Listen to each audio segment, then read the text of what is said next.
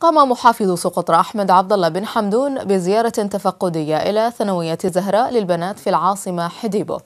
والتقى واستمع إلى أهم الصعوبات التي واجهت الثانوية خلال الفترة الماضية والمتطلبات الأساسية التي تحتاجها وأشار المحافظ إلى أن السلطة المحلية للعملية التعليمية اهتماما خاص لتحسين مخرجاتها وجودتها لنضمن مستقبل علمي أفضل لأبنائها الطلاب الذين من خلالهم سنضمن مستقبلا زاهر للمحافظة.